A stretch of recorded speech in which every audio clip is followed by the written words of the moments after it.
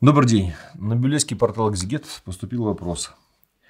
Я делаю добрые дела, но мною все пользуются. Как приобрести мудрость в доброделании? Эм, то, что этим пользуются люди, это очень хорошо. Э, плохо другое. Если вы будете делать добрые дела для людей, то всегда будет возникать э, состояние зависимости, и вы будете думать, что вами все пользуются. А если вы будете делать добрые дела для Бога, то вы будете радоваться тому, что люди вами пользуются. Потому что нет ничего радостнее, чем трудиться для Бога. Надо просто в голове перевернуть дела для детей, для людей и дела для Бога. Трудитесь, видите в каждом человеке образ Божий. И ваши дела будут сразу автоматически переходить, переадресовываться на Бога. И вы будете понимать, что Бог это принял. И вам будет не тягостно, а радостно. Э, если люди начинают активно пользоваться вами, и вы понимаете, что это принимает какой-то систематический характер, то можно, не отказывая человеку, сделать ему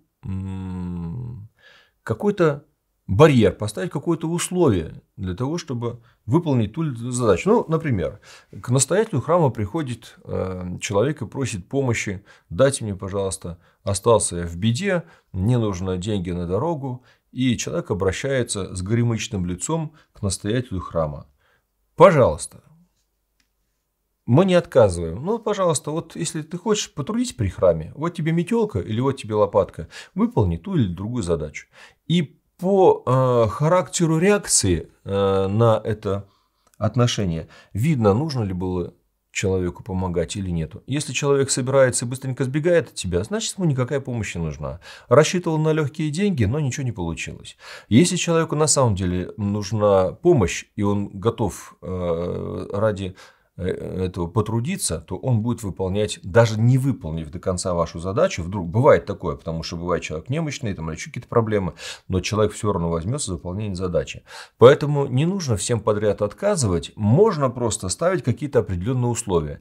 Если дети к вам обращаются с просьбой, и вы не хотите э, создавать между собой и ними антагонистических прослоек, вы можете сказать, да, я согласен. Э, вполне возможно, что твой старый кнопочный телефон немножко устарел. Но чтобы сделать э, какую-то новую покупку, семье нужно немножко напрячься. А для этого ты должен сделать то-то и то-то. Например, в дневнике должны появиться там такие-то или такие-то отметки. Ну, или еще какие-то условия, в зависимости от того, какой характер э, педагогических взаимоотношений у вас э, с этим э, ребенком существует. И тогда, я думаю, что препятствие, которое ставите вы, оно не будет отказом от выполнения просьбы, но послужит вам показателем того, нужен человеку это или не нужно. И тогда люди э, перестанут вами пользоваться так активно, как происходит это сейчас. Внеси свой вклад, оцени, подпишись и поделись этим видео.